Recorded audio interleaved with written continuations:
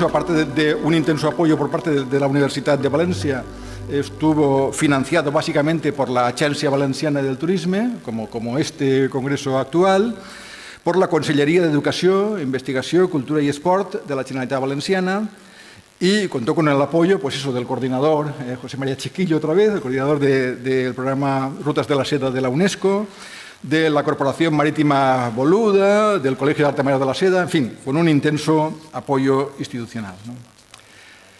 Bien, cuando nos plantearon al profesor Germán Navarro y a mí eh, la posibilidad de organizar este congreso, eh, pensamos que era una buena oportunidad para replantearnos de nuevo, realizar un nuevo estado de la cuestión del Congreso anterior, del Congreso que realizamos en Valencia también, eh, lo quiero subrayar, en Valencia también en 1993. Eh.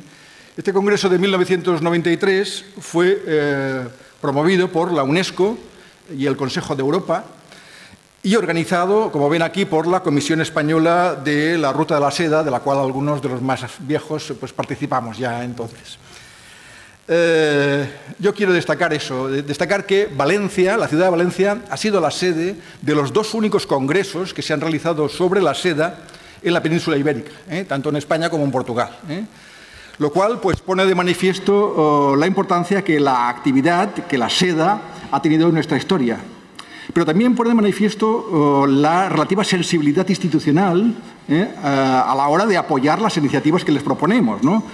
Eh, realmente debo decir que no es fácil, ¿eh? no, no, crean que vamos y pedimos apoyo y enseguida nos lo dan. ¿eh? Se hacen un poco de rogar, pero lo importante es que al final responden. Eso es lo importante. Al final responden y por tanto pues nos dan la oportunidad de organizar estas actividades, estos congresos y realizar estas publicaciones. En este caso, en el año 93, la publicación se realizó en la Universidad de Barcelona. Es decir, pudimos hacer el congreso aquí pero la publicación se realizó en la Universidad de Barcelona en castellano y está, hay una versión en inglés también, por si les interesa, ¿eh? se tradujo al inglés y se publicó también por la Universidad de, Barcelona.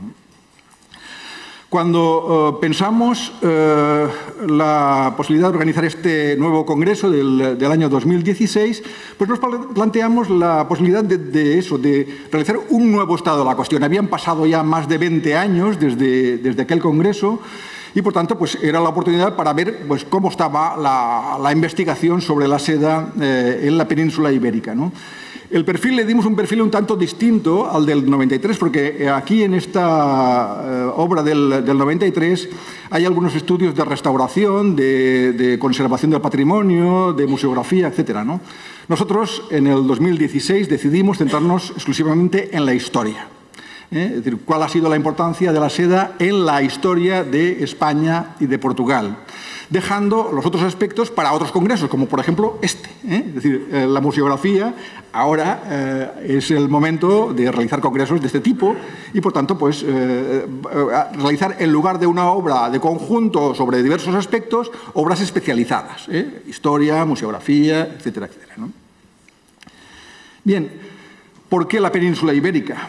¿Eh? aparte de que porque residimos aquí, evidentemente, ¿por qué?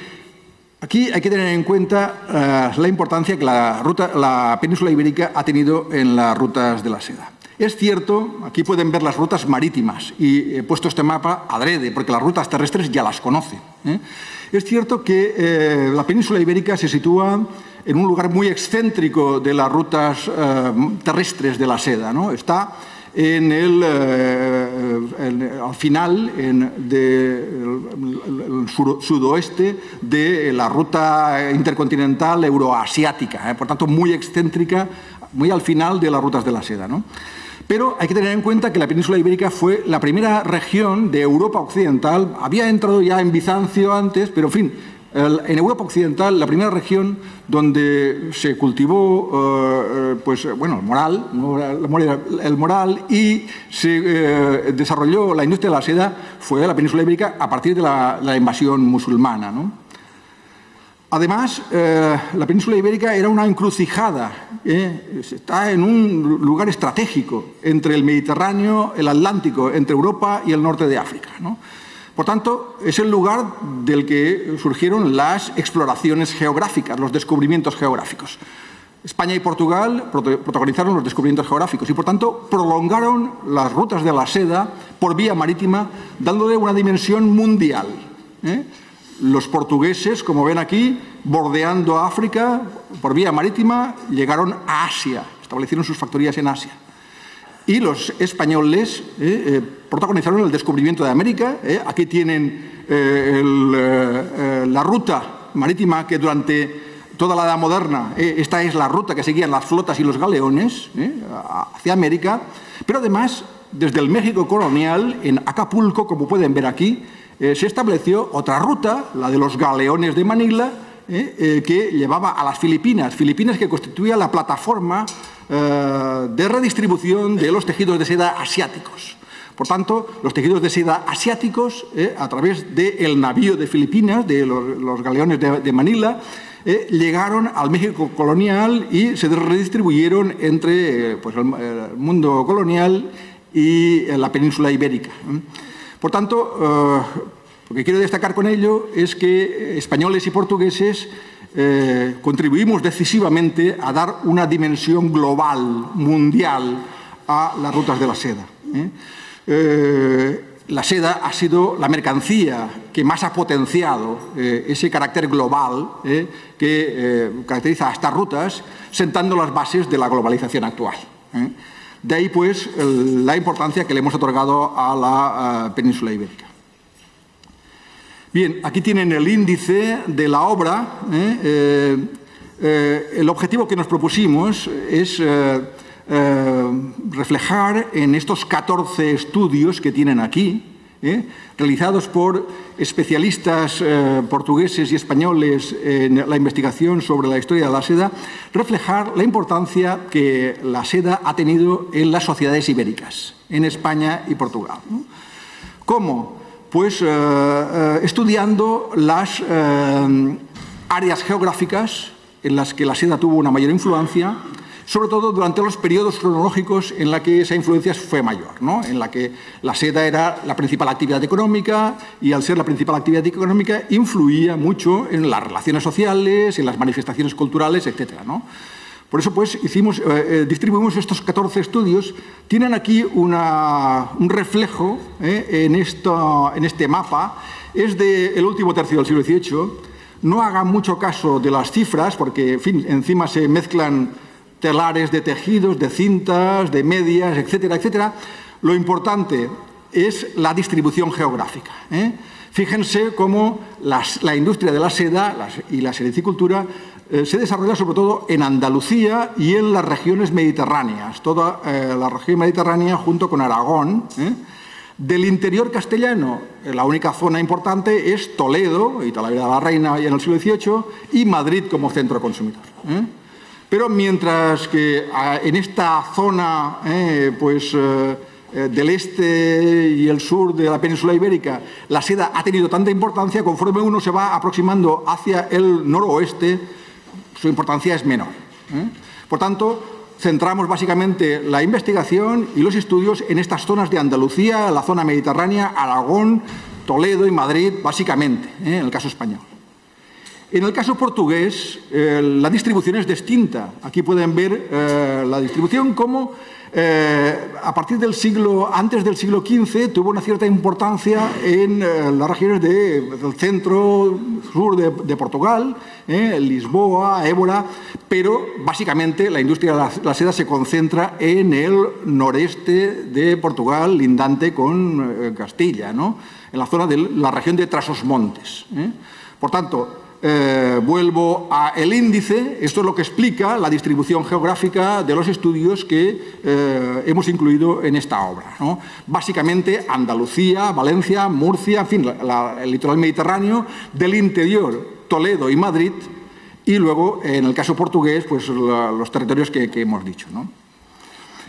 Bien, haciendo una pequeña reseña de cada uno de los estudios y que me perdonen los autores, porque claro, es una lectura personal que yo hago de sus trabajos, ¿no? pueden ver como los tres primeros estudios ¿eh? se centran básicamente en la llegada de la seda al Andalus y en el desarrollo en Andalucía, básicamente. El primero de ellos está realizado por la profesora Laura Rodríguez Peinado. La profesora Laura Rodríguez Peinado es profesora titular de Historia del Arte de la Universidad Complutense de Madrid. Y aquí analiza pues, el desarrollo desde la antigüedad de las rutas terrestres euroasiáticas y cómo a través de ella la, seda fue llegando hacia Oriente Medio, ¿eh? hacia Siria, Asia Menor, Egipto, llegó a Bizancio ¿eh? Eh, y luego, a partir de ahí, ya son los musulmanes los que cogen la herencia y la transfieren a la península ibérica. Por eso decía antes que la península ibérica es la primera región de Europa Occidental en la que la seda tiene una mayor, una, mayor importancia. ¿no? Como a través del califato de Córdoba, y a través de la inmigración de artesanos de Siria y del Líbano, básicamente. Es decir, ya tenemos desde el principio cómo las rutas de la seda ¿eh? sirven para la transmisión de conocimientos técnicos, saberes, etcétera, etcétera. Esta es una característica ¿eh? que se mantiene durante toda eh, la historia, desde el siglo VIII hasta el siglo XIX, básicamente. Eh, en eh, eh, Andalucía, en Al-Ándalus, es básicamente en Córdoba, también en Sevilla, pero en Córdoba, donde se desarrolla la industria textil, una industria textil que influye luego en los reinos cristianos, los tejidos musulmanes, por eso quedan tantos testimonios de tejidos de seda en pues, los reinos cristianos de, de, la Bajada Media. ¿no? Bien, el estudio siguiente es el que realiza mm, Adela Fábregas García, mm, que es profesora titular de Historia Medieval de la Universidad de Granada. Como ven, se centra en la sede del Reino Nazarí de Granada. Realmente es la continuación del estudio donde lo deja Laura Rodríguez Peinado. Eh, destaca cómo, tras la desintegración del califato de Córdoba, eh, la seda se desplaza hacia el sudeste eh, de la península, hacia aquí, hacia el futuro reino de Granada. Eh, la producción se desarrolla sobre todo en la zona de Granada y las Alpujarras, ¿eh? pero la comercialización, eh, la salida al Mediterráneo se realiza a través de Almería. Y Almería se convierte en el puerto de salida, aquí no está reflejado, pero en fin, es puerto de salida, Almería la salida de las sedas granadinas hacia el Mediterráneo.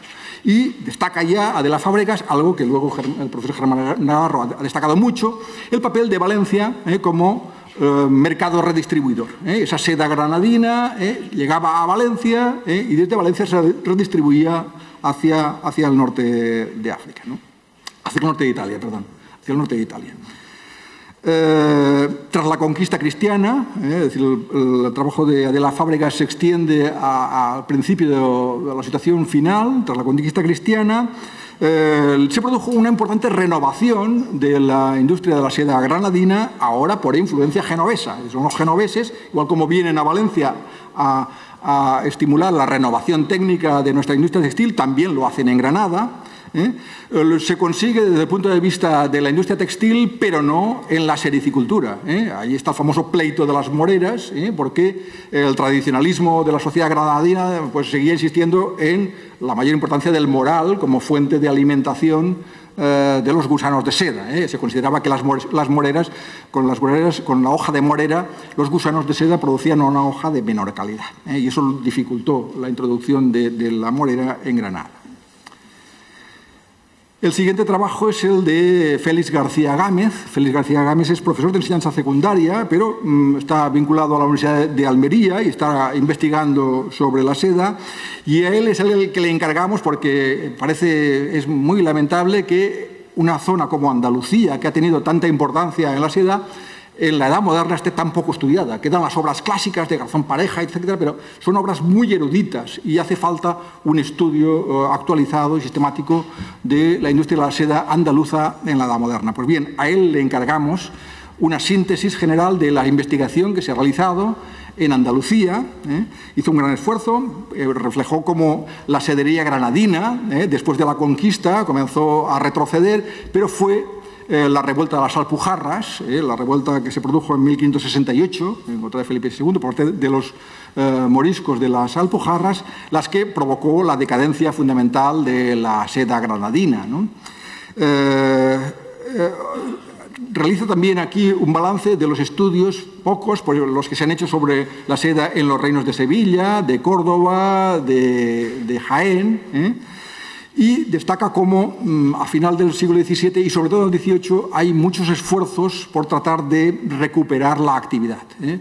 esfuerzos que no obstante eh, solo dieron lugar al desarrollo de eh, la producción de, arte menor de la seda, no de tejidos, sino de complementos del vestido, de cintas, galones, pañuelos, etc. ¿no? Es lo que aquí parece, eh, estas barras están reflejando esta producción de cintas, paseminería, listonería, etcétera, ¿no? no de tejidos. Es decir, Andalucía en el siglo XVIII ya no producía ni mucho menos la producción textil de, géneros textiles tan importante como, como anteriormente.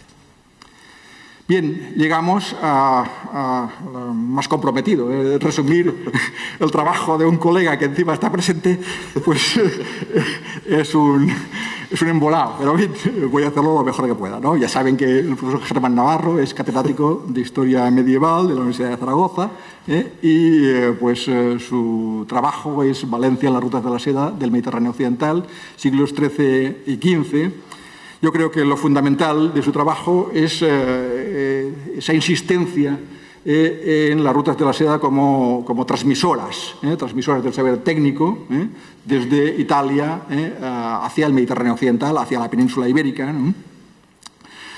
Analiza, no obstante, el desarrollo previo de la sedería, de origen musulmán, y el papel de los conversos, los judeoconversos, eh, que se centran fundamentalmente en el desarrollo de la obra blanca, eh, y realmente son los que eh, crean el gremio de Beler. Si, si, digo algo incorrecto, me lo corriges, por favor, Germán.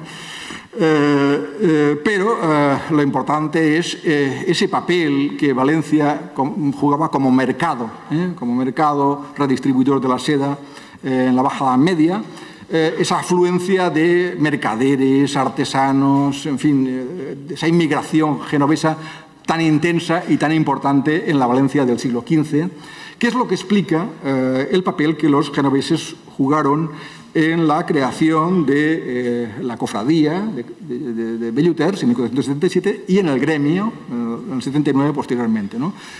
los genoveses transmitieron a Valencia y renovaron la industria de la seda, como luego lo hicieron en Granada, lo hicieron en Toledo, ¿eh?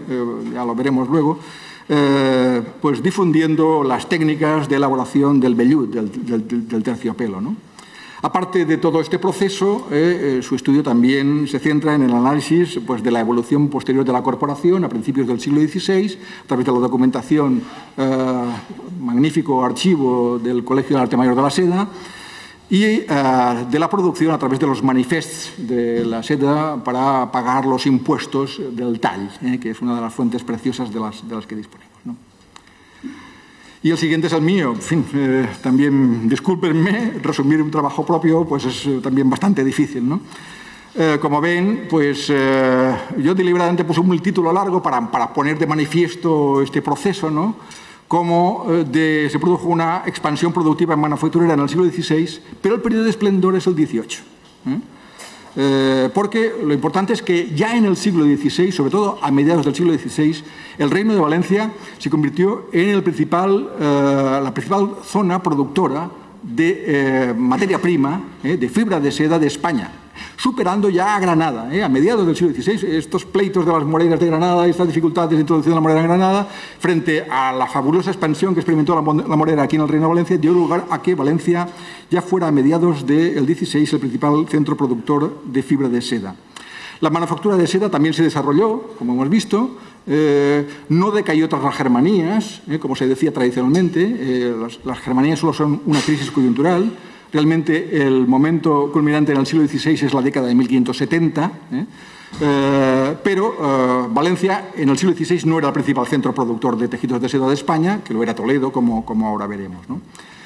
La decadencia que se produjo en el siglo XVII dio pie a que a finales de la centuria, en 1686, en 1686 cuando se crea el privilegio por la que se transforma el gremio en colegio, es un indicador importante, eh, Valencia inicia un despegue, un periodo de esplendor, eh, que da lugar a que en el siglo XVIII Valencia tenga la doble condición, eh, la doble condición de ser principal zona productora de fibra de seda de España, las dos terceras partes como mínimo de la fibra de seda que se producía en España se producían aquí, en el Reino de Valencia, pero también era el principal centro manufacturero eh, español de tejidos de seda. La decadencia de Toledo y los otros centros había dado lugar a que eh, en Valencia eh, pues, existiesen, a finales del siglo XVIII existían 2.000 maestros, unos 3.500 telares y se daba ocupación a la mitad de la población de la ciudad. Hay que tener en cuenta que Valencia en el siglo XVIII era la segunda ciudad de España, superaba a Barcelona,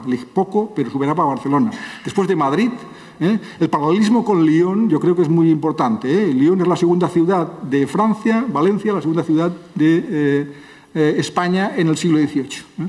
Por tanto, pues la, ciudad de Valencia en el siglo XVIII es una ciudad industrial, una ciudad industrial caracterizada por eh, el desarrollo de la actividad eh, de la seda.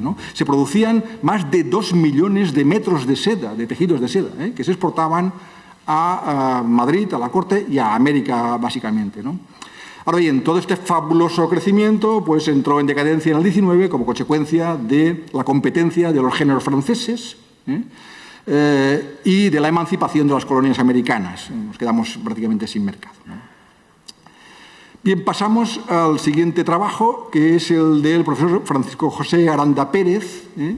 Eh, es catedrático de Historia Moderna de la Universidad de Castilla-La Mancha, es toledano, ¿eh? y por tanto, pues qué mejor que él para que nos hiciese un trabajo sobre el horizonte de la seda en el Reino de Toledo en la época moderna. En este trabajo se destaca cómo Toledo experimentó su periodo de esplendor entre 1480, es decir, poco antes de la conquista de Granada, y 1570. Ese siglo es el siglo de oro de la seda toledana. ¿no? Eh, la seda toledana fue promovida realmente por los reyes católicos. ¿eh? Es decir, los reyes católicos pusieron un sistema fiscal que perjudicaba a los, a, uh, géneros granadinos y beneficiaba a los toledanos. Como no había capital de la monarquía, Toledo era la ciudad imperial ¿eh? y por tanto allí es donde la monarquía promovió el eh, eh, desarrollo de la industria de la seda. Una industria de la seda que también fue renovada por la inmigración de italianos, genoveses y valencianos. ¿eh? Valencia fue la plataforma realmente de transmisión de técnicas a Toledo. ¿no? Y los toledanos, como no tenían materia prima, ¿eh? tenían que adquirirla. ¿Cómo lo hicieron? Pues bueno, controlando la renta de la seda de Granada. La renta de la seda de Granada, que es eh, la renta que eh, drenaba eh, y controlaba toda la producción de, de, fibra de seda del reino de Granada, eh, los arrendatarios eran toledanos, básicamente. Y por tanto, así conseguían la materia prima pero también adquiriéndola en Valencia y en Murcia, que ya eh, en el siglo XVI eran las zonas productoras más, importantes. Eh, tras ese periodo de esplendor, a partir de finales del siglo XVI, Toledo entró en decadencia, el declive fue tremendo, el que experimentó Toledo, y a finales del siglo XVIII, a finales del siglo XVII, eh, aunque se intentó pues, recuperar la actividad, ¿eh? Eh, Toledo, como ven aquí también, produce básicamente en el siglo XVIII pues, cintas, pasamería, listonería, tal, tejidos pocos. Sí que se promovió la creación de la fábrica de Talavera la Reina. Fue una real fábrica eh, eh, creada en 1748, eh, atrayendo a técnicos franceses, ahora son franceses los que vienen a, renovar la industria de la seda española, que se cedió luego su explotación a los cinco gremios mayores pero, de Madrid. Pero el desarrollo de la, la sedería toledana en el siglo XVIII fue muy modesto y también acabó desapareciendo a finales del siglo XVIII.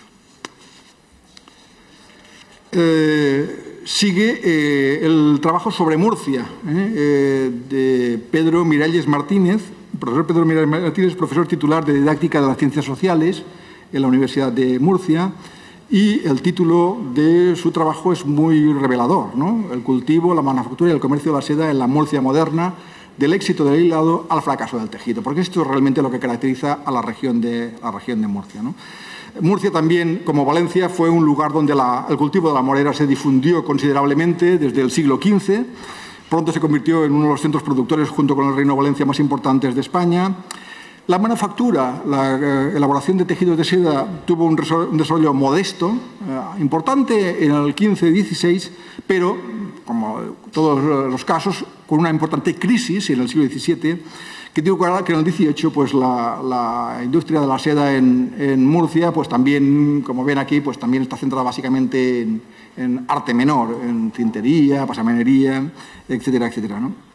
Realmente la mayor importancia de Murcia es por el cultivo de la morera y por la elaboración de fibra de seda. ¿eh? Murcia se caracteriza por esto. ¿no? Eh, y aquí lo que cabe destacar pues, es, de nuevo, una iniciativa de transmisión técnica eh, en 1770 empresarios italianos del Piamonte eh, introducen también en Murcia una hilatura, una uh, fábrica de uh, hilar seda a la piamontesa, eh, es decir, con, movida por, por, por hidráulica, que acabó en manos de los cinco gremios mayores de Madrid, de esa corporación financiera que también tenía la fábrica de Talavera de la Reina y también era la que, no lo he dicho, pero en fin, la Real Fábrica que los cinco gremios mayores de, tejidos de seda, oro y plata establecieron en Valencia también por parte de los cinco gremios. Los cinco gremios mayores de Madrid eran la corporación financiera y comercial más importante de la España del siglo XVIII. ¿Mm? El siguiente trabajo es el de eh, la profesora Ana María Ágreda Pino, mm, es profesora titular de Historia del Arte de la Universidad de Zaragoza y estudia la seda en Aragón en la Edad Moderna, como pueden ver aquí. En Aragón también, como se ve, el desarrollo es modesto. ¿eh? Eh, allí se produjo difusión también del cultivo de la morera y de la producción de, fibra de seda, eh, sobre todo en Zaragoza y en algunas áreas de la ribera del, río Ebro, pero la producción era mucho más modesta que la de Valencia o la de Murcia, por ejemplo, y la mayor parte de ella se dirigía a Cataluña. ¿eh? Es decir, los catalanes se, abastecían básicamente de seda aragonesa, valenciana y murciana. ¿eh? Eh, en Aragón también hubo una cierta importancia de la producción de manufacturera, pues en el siglo XVI. Había algunas corporaciones de veleros y velluteros que, que se fusionaron en 1615, pero el desarrollo textil es muy modesto y en el siglo XVIII pues queda básicamente, aparte pues también de producción de arte menor, eh, queda algo de producción de fibra, eh, eh, con iniciativas muy importantes de la Sociedad Económica de Amigos del País para, para, para estimular el cultivo de la morera, el desarrollo, el cultivo, la, mejora de la, de la hilatura de la seda, etc. ¿no? Bien, dejando mm, de lado estos otros dos trabajos que analizaré luego, vamos a ver el último territorio, que es Cataluña. ¿eh? Eh, la seda en Cataluña, fíjense, siglos XVIII-XIX. ¿eh? Es la profesora Ángel Solà Parera, que es profesora titular de Historia Contemporánea de la Universidad de Barcelona, la que se encargó de realizar este, este, trabajo, este trabajo en el que se destaca pues, la debilidad. ¿Por qué desde el XVIII? Porque hasta el siglo XVIII la industria de la seda en Cataluña tuvo un carácter muy modesto. Se centró básicamente en Barcelona y poco más, ¿eh? y con una actividad muy modesta. Realmente el despegue de la sedería catalana es a partir de 1730, es del siglo XVIII y a partir de 1730. Uh, fíjense la proliferación de centros textiles que, se producen en, en Cataluña. Cataluña no era productora de fibra de seda, se producía muy poca fibra de seda, tenía que importarla de Aragón, de Valencia, de Murcia, y por eso los catalanes eh, se especializaron en la elaboración de manufacturas, sobre todo manufacturas eh, de bajo coste, de bajo coste, eh, pañuelos, medias, cintas, puntillas, etcétera, etcétera, con mmm, fibra procedente pues, de, Aragón, Valencia y Murcia. No tenían fibra propia. ¿no? Es una especialidad que acabará dándoles el éxito, ¿eh? porque son productos ¿eh? de un precio más o menos asequible para capas intermedias, no, no son tejidos lujosos. ¿no? Y eso es lo que les dará eh, su futuro, el mantenimiento a lo largo de las décadas posteriores. ¿no? Aunque Barcelona es un centro muy importante, el más dinámico en el siglo XVIII es Manresa. ¿eh? Realmente el más dinámico es Manresa, eh, donde lo que destacan son los velers, ¿eh? eh fabricantes sobre todo de pañuelos de seda, que en 1772 eh, consiguen un privilegio para elaborar géneros más ligeros. La tendencia que Francia ya venía realizando durante todo el siglo XVIII de elaborar géneros más ligeros y por tanto más baratos, más asequibles a, capas más amplias de la población, eh, es la que eh, en Manresa se desarrolló considerablemente eh, en el último tercio del siglo XVIII. Eso generó una intensa acumulación de capital, pero la característica de Manresa es el traslado de esos capitales desde la seda al algodón. Es el centro en el que el trasvase de capitales de la seda de algodón fue más intenso. ¿eh? Por tanto, la seda desapareció en el 19, eh, fomentándose la producción de, tejidos de algodón. En cambio, eh, Barcelona y Reus son dos centros sederos en los que mm, se apostó por la innovación. Aquí eh, se introducen pues, eh, la fabricación de medias con telar, en lugar de hacerlo manualmente pues, con telar, eh, la fabricación de introducción de telares que fabricaban varias cintas a la vez, en lugar de una cinta cada telar, sino hasta 20 cintas a la vez, la fabricación de, de tul con telar también en lugar de manualmente, es decir, los catalanes introdujeron muchas innovaciones técnicas que dieron lugar a que en el siglo XIX la sedería más industrializada, mm, más innovadora de España sea Cataluña. ¿eh? Y por eso, cuando Valencia está en decadencia ya a mediados del siglo XVIII, ya Cataluña está surgiendo como el centro sedero más importante de la España de la época. Bien, eh, volvemos a estos dos trabajos que deliberadamente había dejado anteriormente, porque, bueno, se podían analizar de una manera u otra, pero en fin, eh, creo que es mejor analizarlos como centros comerciales, es decir, Madrid y América, porque, claro, aquí tenemos los dos mercados fundamentales de la sedería española. Eh, Madrid, eh, eh, el estudio lo realizó el profesor José Nieto Sánchez, que es profesor ayudante doctor de la Universidad Autónoma de Madrid, y su título es bastante revelador. Madrid como centro consumidor, productor y redistribuidor de tejido de seda. Marco consumidor y redistribuidor, porque productor mm, realmente es muy débil. ¿no? Aquí se destaca cómo eh, pues, mm, en Madrid hubo un cierto desarrollo de la producción, sobre todo de, arte menor, eh, pasamanería, eh, cordonería, etcétera, etcétera, pero muy modesto. Realmente la importancia de Madrid es como principal centro de consumo de España. Hay que tener en cuenta que Madrid era la capital política, lugar de residencia de la corte, de las principales élites sociales y políticas del país y, por tanto, era el principal mercado consumidor de tejidos de seda. Y esto es lo que dio lugar a que uno de los cinco gremios mayores eh, de Madrid, el gremio de mercaderes de seda de la Puerta de Guadalajara, eh, pues tuviese un desarrollo tan considerable. Era el, lugar, el gremio que agrupaba a los em, comerciantes de puerta abierta, a los mercaderes, eh, que comercializaban los tejidos de seda en Madrid. Y aparte de eh, um, mercaderes procedentes de Madrid o de Castilla o del País Vasco, lo que cabe destacar es cómo los valencianos, los catalanes, los toledanos ¿eh?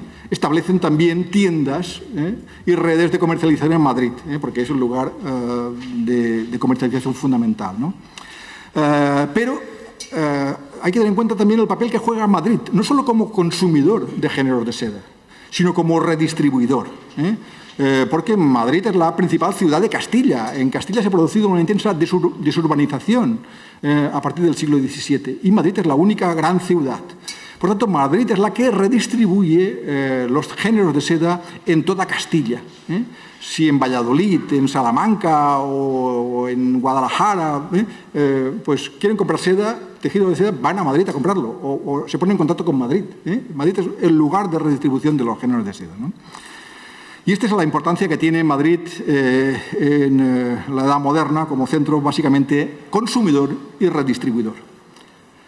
Y acabamos la revisión de eh, la seda en España con el trabajo de Daniel Muñoz Navarro. profesor Daniel Muñoz Navarro es profesor ayudante doctor de la Universidad de Valencia y le, realizamos un encargo, el responsable fui yo, eh, eh, porque, claro, quería que, que, era fundamental analizar la seda en el comercio colonial español, sobre todo en el siglo XVIII, y no hay ningún estudio sobre la materia. Me puse en contacto con, especialistas en la, eh, en la, cuestión, en comercio colonial, y sí, sí, muy importante tal, pero nadie se atrevía a meterse, porque trabajar esto eh, suponía una intensa labor, era muy laborioso. ¿no?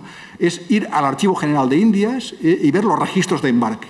Registros de embarque que encima, mm, durante la mayor parte de la Edad Moderna, no especifican el valor de las mercancías ni siquiera la cantidad, cajas, una caja de género, tal, ¿no? Eh, por tanto, pues claro, eh, era muy difícil de estudiar. Pues bien, mm, Daniel Muñoz se fue al Archivo General de Indias eh, y comprobó cómo el reglamento de libre comercio de 1778, en 1778 Carlos III permite a varios puertos españoles comerciar libremente con América, ese reglamento favoreció mucho a los géneros de seda. Los géneros de seda eran los únicos productos que pagaban por peso, no por valor. ¿eh? Todas las mercancías pagaban según el valor, eh, al 3% si eran españolas, al 7% si eran extranjeras, y la seda pagaba por peso, por peso de, las cajas. ¿no? Claro, como la seda es un producto tan valioso, eh, la cuota fiscal que yo representaba solo bajaba, era sobre el 0,5 o el 0,7% en lugar del 3%. Es decir, la monarquía estaba favoreciendo la eh, comercialización de los géneros de seda españoles hacia América. A partir del 78, Daniel Muñoz también comprobó cómo en los registros de embarque posteriores de los primeros años del libre comercio se especifica la extensión de los géneros y su valor. Y eso le permitió hacer un estudio magnífico, ¿eh?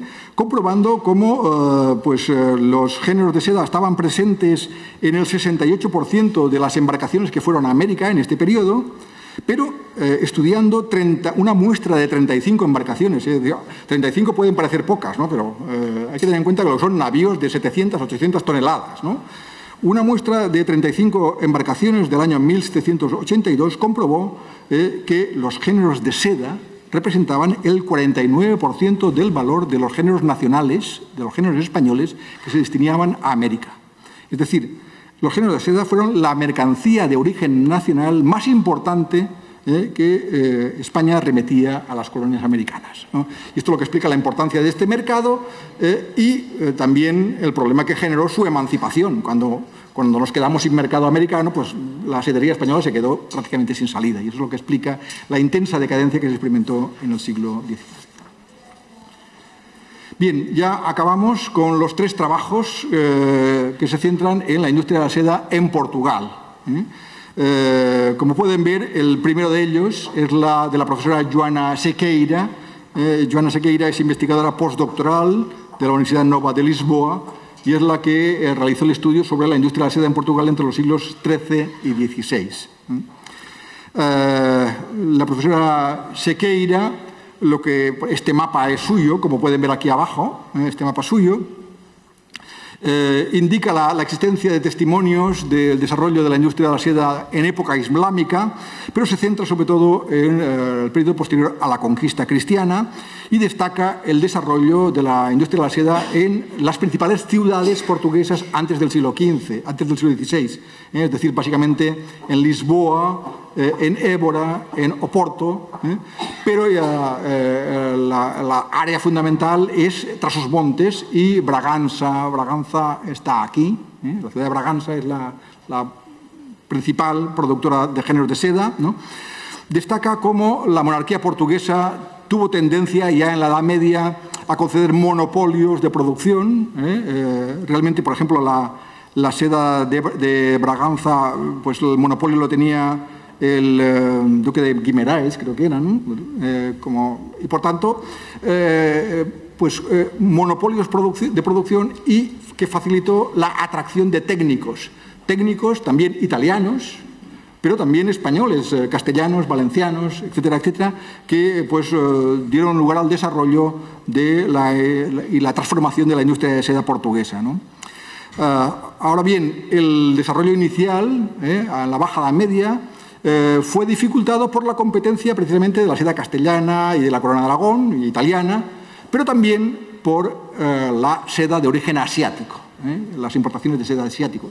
Y eso es lo que desarrolla en mayor medida la profesora María Joao Ferreira, ¿eh? También es investigadora postdoctoral de la Universidad Nova de Lisboa, ¿eh? que lo que estudia es la procedencia y consumo de la seda asiática en Portugal durante los siglos XVI y XVIII. ¿eh? Porque hay que tener en cuenta que a partir de pues 1498 los portugueses pues establecen esa ruta marítima con Asia. lo que destaca la profesora María Joao Ferreira es la creación de la factoría de Macao, ¿eh? en 1557, que permitió el acceso al mercado de Nankín, ¿eh? Eh, a las ferias, a la feria de, perdón, de Cantón, las ferias de Cantón. Y a partir de aquí, Macao se convirtió en el centro de salida de la seda china hacia el resto de Asia, tanto a Japón como a Filipinas, y ahí el navío de, galeón de Manila, como a la India, porque la importancia de la India es plataforma que los portugueses utilizaron para, desde la India, eh, redistribuir los géneros de seda a Portugal, a Lisboa. ya a mediados del siglo XVI, los géneros de seda tenían más importancia en las embarcaciones que venían de la India que las especias, que habían sido el producto, el producto fundamental inicial. Eh, los eh, tejidos de seda asiáticos encima eran más ligeros y baratos que los que se hacían en, Portugal. Y de ahí pues, que fuesen conquistando mercado, sobre todo de las clases intermedias. ¿eh? Las clases ascendentes, la burguesía, etc., se vestía más de géneros asiáticos que no portugueses. Y eso es lo que explica las dificultades de desarrollo de la industria de la seda en Portugal.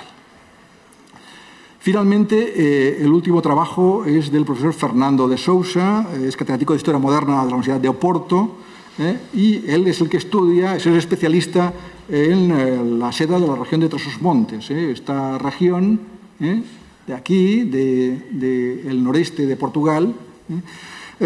destaca el desarrollo inicial, algo que la profesora Sequeira ya había aludido, eh, eh, a finales de la Edad Media, entre 1475 y 1580. Eh, el duque de Guimarães también insiste en el papel del duque de Guimarães como monopolizador, que tuvo el privilegio para monopolizar la producción de, de de seda, pero subraya sobre todo la decadencia que se produjo a partir de 1580.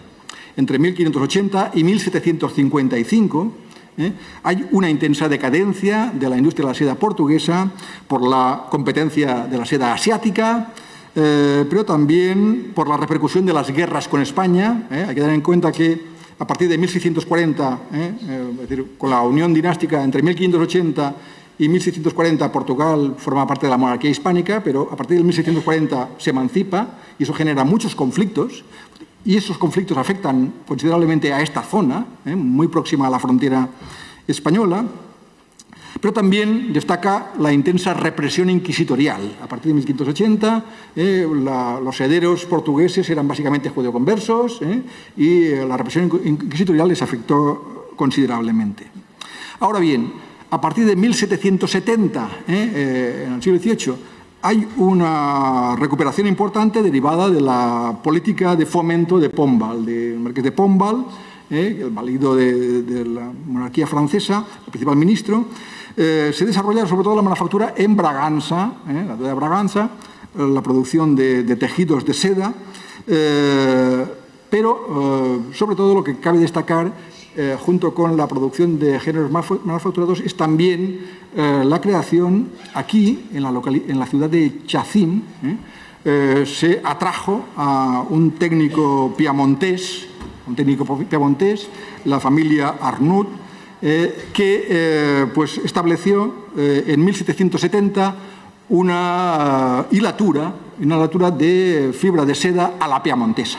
Por tanto, acabamos donde comenzamos, ¿eh? donde comenzamos. Es decir, la importancia de la seda durante todo el periodo histórico ¿eh? como eh, vehículo de transmisión de técnicas, saberes técnicos, de innovaciones, etcétera, etcétera. ¿no?